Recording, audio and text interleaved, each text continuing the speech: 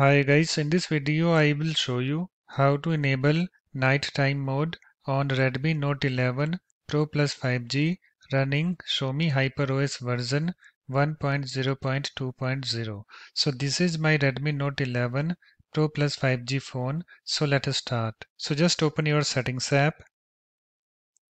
You can see it's opened. So let me show you guys first the Xiaomi HyperOS version. So let me tap on about phone. You can see I have Xiaomi HyperOS version 1.0.2.0 installed on my Redmi Note 11 Pro Plus 5G phone. So let me go back. So let's enable nighttime mode. So just open your settings app and then scroll down to battery and then tap on it.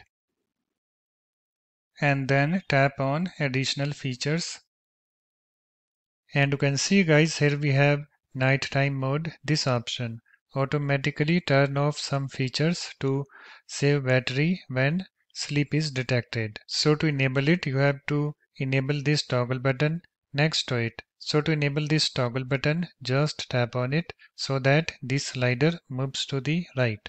So let me show you. Let me tap on it.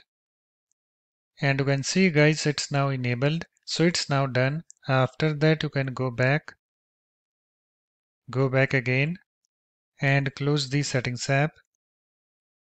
So that's it. Thanks for watching. If you like my videos, please support this channel by subscribing to it. Thanks. Bye bye.